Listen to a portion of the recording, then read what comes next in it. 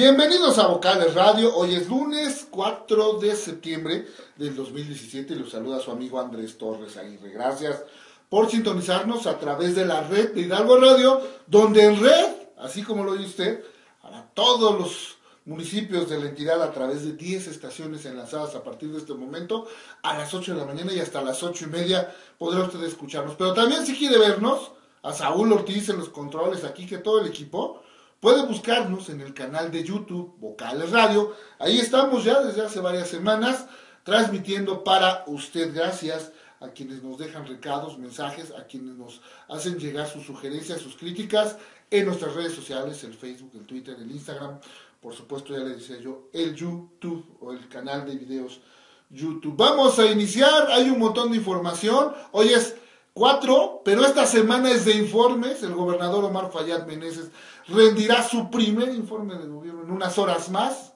Aquí le vamos a dar algunos detalles al respecto, pero mientras le digo que las vocales radio ya están al aire.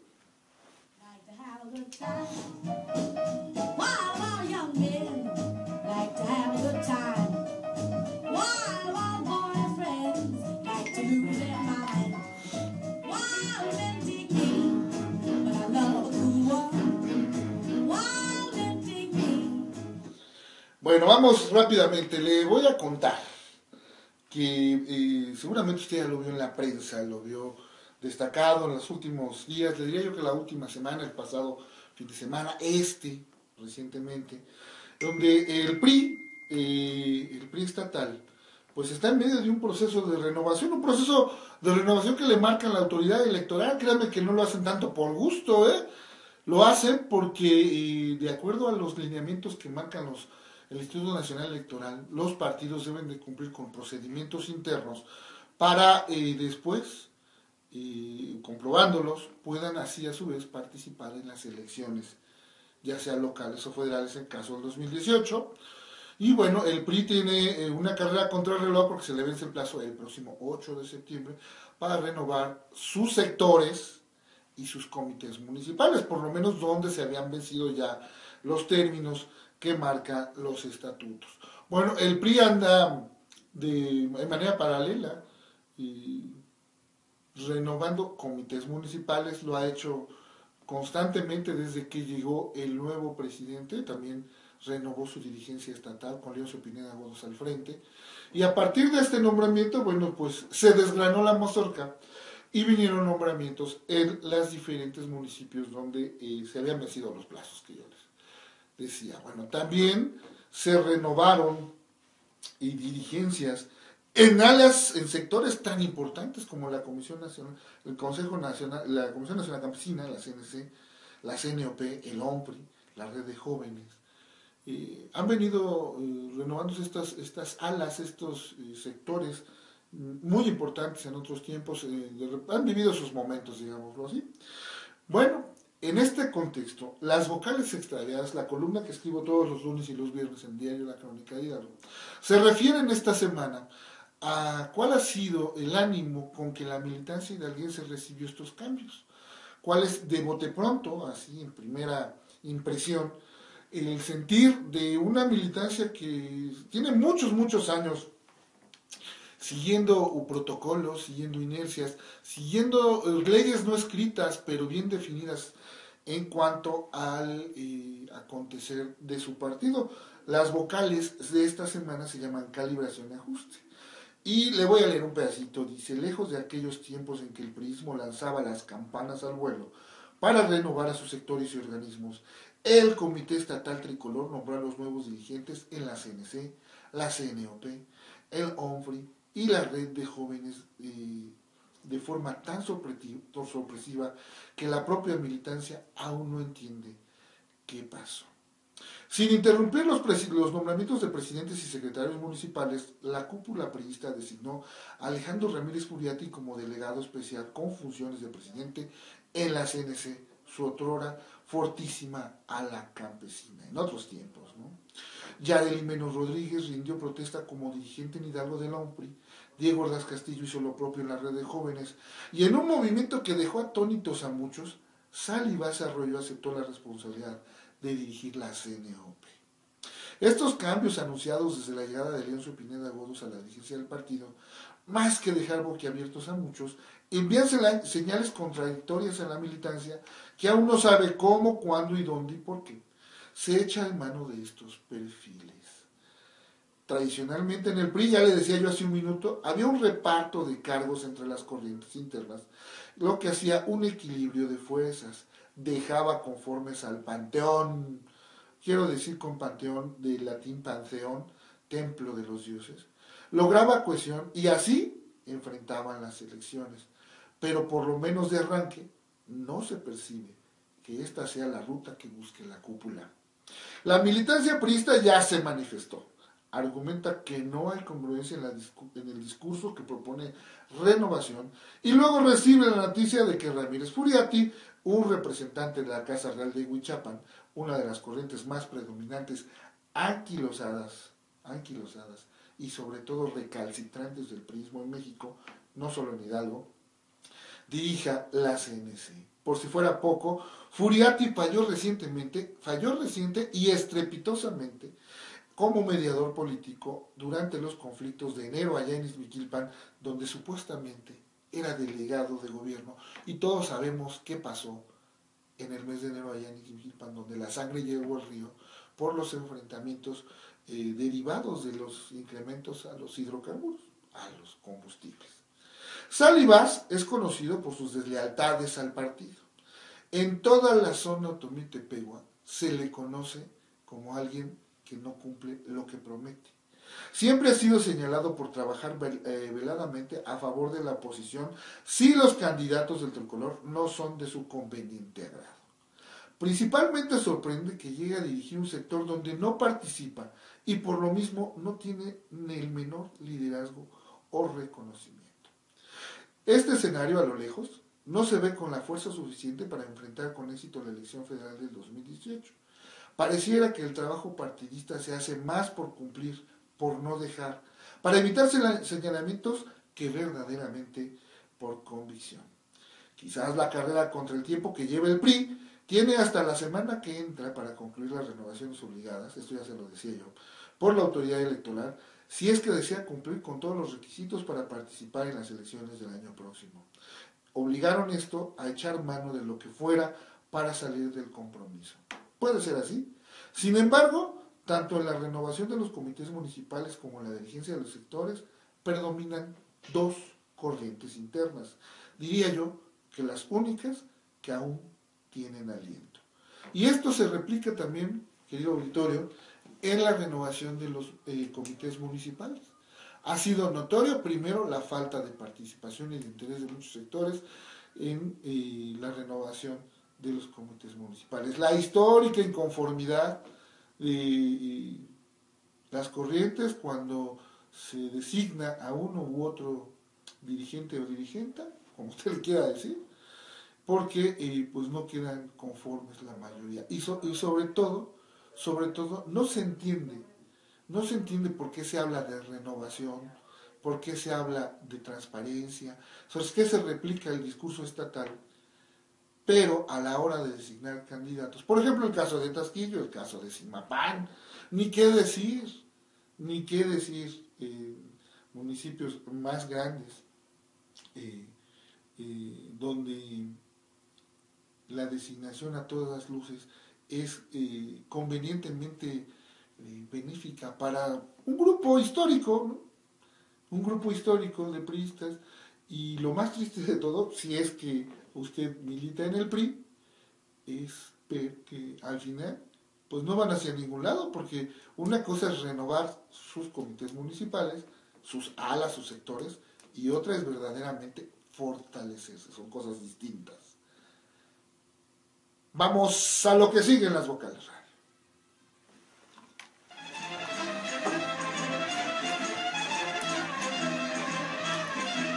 Ya lo escucha, ya lo escucha usted. Vuela por los aires de Pachuca. Aldo y su dron. ¿Cómo estás, mi querido Aldo? Buen inicio de semana. ¿Qué tal, Andrés? Buen día. Para comentarte, se espera más de 99, 900 mil personas, 900 mil personas para disfrutar la edición de la feria, afirmó el gobernador Juan Payas Durante la presentación del programa tradicional de la Feria San Francisco 2017, considerada una de las cinco mejores ferias del país, se montará un dispositivo especial para la seguridad, así como diversas atracciones para deleite de los visitantes. El costo de acceso será de adultos de 45 pesos y 25 para los niños. Esta feria anual de San Francisco, que el viernes pasado se presentó, el gobernador Omar Fayad Meneses encabezó un evento pues muy vistoso, ¿no? Aldo, tú estuviste ahí, eh, un evento muy vistoso, un evento donde hubo música, donde hubo luces, donde hubo tradición, donde hubo eh, folclore, y bueno, eh, se espera que esta feria, que sería la segunda, ¿no? La segunda por eh, el acomodo de las fechas en la administración de Omar Fayad, la segunda del gobernador Omar Fayad, pero me parece que es la primera que verdaderamente, en donde verdaderamente ya su equipo, su, su mano se va a notar en esta feria y creo que vamos a tener muchas sorpresas, ¿no? De entrada los carteles para el Palenque, para el Teatro del Pueblo, este, pues, tiene muy entusiasmado a todo el mundo, ¿no? Así es, pues es lo que decía el gobernador, que conocía pues, la anterior fecha, la anterior feria, perdón, no se había podido hacer bien por la, el periodo de transición, pero en esta va a ser notable su participación. Sí, claro. Y bueno, pues muy felices allí en la, fiesta, en la fiesta, hubo rifas, hubo regalos, este, en fin, estuvo muy padre el, el, viernes por lo que pude estar viendo en las transmisiones de Facebook. Muchos compañeros estaban subiendo fotos. Un fiestón, ¿no? Sí, sí, sí. Se puede a la participación de varios artistas este, internacional, así como algunos, el, perdón, artesanos ligados belguenses que dan muestra de sus productos. Oye, y mañana el informe, el primer informe del gobernador Omar Fayad Meneses. Así es, esperamos en el filo de mediodía para presentar este informe por parte del secretario Simón Barca. Sí, va a ser un informe austero, va a ser un, un protocolo nuevo y ágil, dinámico. Rápidamente le resumo, este informe se construyó a partir de 74 indicadores establecidos para el monitoreo, la medición y la evaluación de las políticas y acciones de gobierno, lo que permitió generar un modelo de rendición de cuentas permanente que contribuye a mejorar las oportunidades de los israelíes. Es decir, a partir de este momento, todas las acciones de gobierno son medibles. No nada más son ocurrencias y se llevan a cabo. No, todo se está midiendo en este modelo que ha sido creado especialmente. Está vinculado el informe a los objetivos del Plan Estatal de Desarrollo y de los compromisos del gobernador Omar Fayad Meneses, así como de los objetivos de desarrollo sostenible, los cuales representan un esfuerzo global adquirido por los países miembros de la Organización de las Naciones Unidas como el camino a la prosperidad y el desarrollo de las personas bajo el principio de no dejar nadie atrás. Esto es decir, combate directo a la pobreza. Y déjame rápidamente enumerarte algo cuáles van a ser los tópicos principales de este informe que entregará el gobernador Omar Fayad Meneses. A su vez, el secretario de Gobierno Simón Vargas va a entregar el legajo del documento ante la 63 legislatura, como lo marca la ley, y después habrá una glosa, después los secretarios, uno a uno, serán citados por los diputados locales para detallar el contenido de este informe. El informe de resultados se estructura conforme ya le decía yo al Plan Estatal de Desarrollo. El punto más, eh, el primer punto es el combate a la corrupción y la contraloría social. El número dos, mejora de las finanzas del Estado y su calificación crediticia de negativa a estable. El siguiente punto es crecimiento en la captación de inversiones, creación de nuevos empleos formales, fortalecimiento de la producción agropecuaria, incremento en la cobertura en la educación superior y avance de la universidad digital, eh, abasto de medicamentos del cuadro básico, implementación de la estrategia Hidalgo Seguro, instalación del sistema de videovigilancia, drones y patrullas, cobertura en el servicio de agua potable, estrategia para la protección de la biodiversidad, entre los temas o los eh, más importantes logros, Aldo. ¿Qué te parece? Sí, muy importante. A ver qué, cuál será el mensaje que da el gobernador. Y vamos mañana también a hacer historia, porque este será un informe distinto, muy, muy distinto a lo que eh, pues se ha presentado en años anteriores.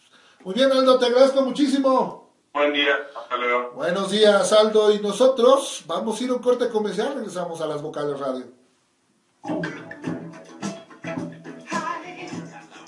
Continuamos con más. Estás escuchando Vocales Radio.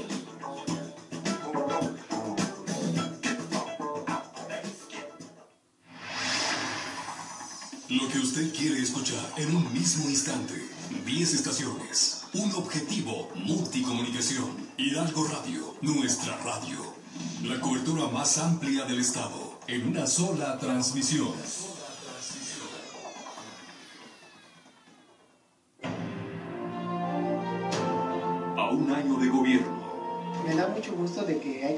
Mejores comunicaciones porque así se puede transportar más rápido todo. Pues para una emergencia y para todo el mundo, es eh, para caminar rápido. Pues está bien porque desde Almoloya vengo y voy a la escuela. Más apropiadas, más acondicionadas, más rápido, todo, todo es mejor. Este año, Gobierno del Estado ha invertido en infraestructura carretera. En Tizayuca se realizó la modernización del Boulevard Juárez Sur y la construcción del Boulevard Oriente Poniente. En Actopan, inició la modernización de la carretera estatal en tronque con carretera Pachuca-Actopan a San Juan Solís. Ampliación a cuatro carriles de la carretera Portezuelos Palmillas. 9.500 automovilistas transitan diariamente por esta vía. Importantes obras de infraestructura carretera se realizaron en la región de Tepeapulco. En la Sierra Gorda se inauguró el camino rural Cuesta Colorada La Ciénega y en los municipios de La Misión y Jacala la modernización de la carretera estatal San Nicolás Octupilla Quetzalapa. Hidalgo crece contigo. La langosta es un insecto que puede dañar tus cultivos. Mediante la detección oportuna, la plaga no representa riesgo de pérdidas económicas. Para prevenirla o controlarla, acércate al Comité Estatal de Sanidad Vegetal del Estado de Hidalgo. Infórmate al 771-710-8370. Gobierno de la República. Este programa es público ajeno a cualquier partido político. Queda prohibido el uso para fines distintos a los establecidos en el programa. Ahora en Hidalgo y en todo el país ya tenemos un solo número para atender las llamadas de emergencias. 911. 911. Recuérdalo, úsalo, cuídalo, para que esté disponible cuando lo necesites.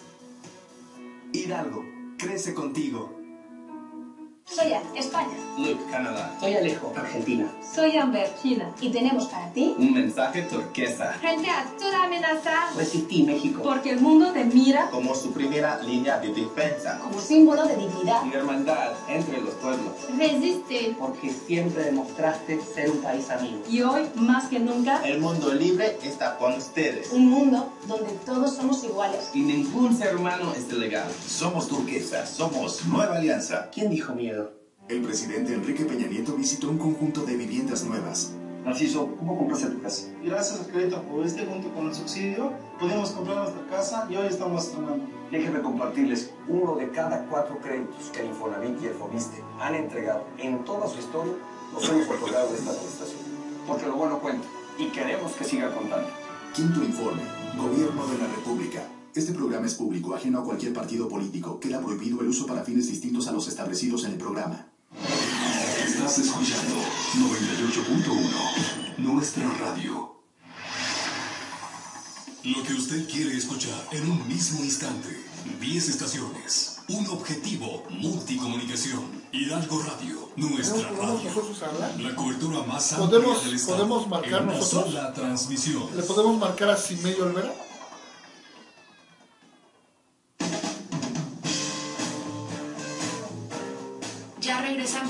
En Vocablo Radio.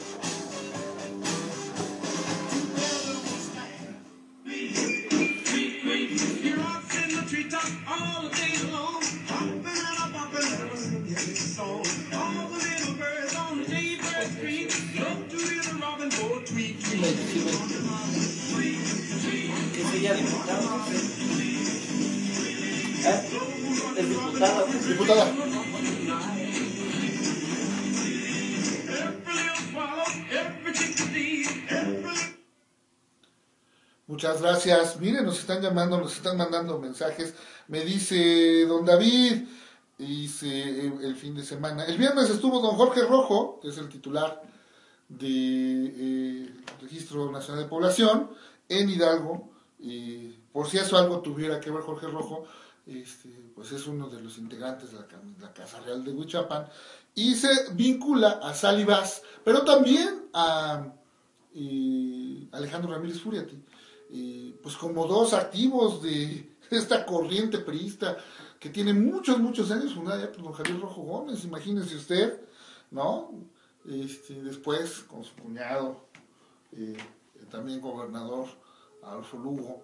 Entonces, imagínese usted eh, pues lo que está pasando en el PRI, ¿no? Por eso, por eso hay varias voces, yo platicaba con varios priistas este fin de semana que me decían, no entiendo el mensaje, no entiendo el mensaje porque el presidente viene a los municipios, nos dice que hay renovación, que hay eh, una nueva intención, hay que eh, buscar eh, renovar el partido, alejarlo de las viejas prácticas, de, los, de todas las inercias que, con las que lo han estigmatizado. Vienen los nombramientos en los sectores y pues se regresa 20 o 30 años en el tiempo nombrando a estas personalidades y, y luego cuando se hacen los, nombramientos en los municipios, pues se le da prioridad a, este, también a las corrientes históricas, ¿no? A las que siempre han estado peleadas, a las que pues sus pleitos internos, caso de Tasquillo, ¿no? Le dan paso a, a la corriente de Liliana Oropesa, que toda la vida está peleada con Frausto Trejo, con Abel Rojo, y que son los causantes, ¿no? En un eterno pleito, porque el PRI no avanza en ese municipio, cosa que me parece creo benéfica, porque llevan por lo menos cuatro administraciones municipales donde ha eh, gobernado el PAN y el PRD, y bueno, pues este, ahí repito yo, no se entiende, no se entiende cómo no empata el eh, discurso con la eh, pues con las acciones, ¿no? La, la, congruencia del discurso con las acciones no simplemente no, no empata. Tengo la línea telefónica a la diputada local, ¿no? A Milton Cortés. Ah, muy bien, es que le iba a platicar sobre eh, un Twitter que ayer eh, la diputada local del PRD, Simeyo Olvera, subió a sus redes, en donde pues hace una, un comentario que no, no deja de, no se entiende perfectamente, pero como que deja ver su intención de partir de las filas del PRD hacia nuevos horizontes, entiéndase Morena. La busqué, he estado mandando mensajes con ella, quedamos de entrevistarnos al aire aquí próximamente. Ojalá que la diputada Simedio Olvera nos acepte una llamada para eh, poder dilucidar de una vez por todas si es que deja o no las filas del PRD, si es que se integra a las filas de Morena y cuál será su horizonte político para las próximas elecciones. Pero mientras tanto, Milton Cortés, ¿cómo estás, amigo? Muy buenos días.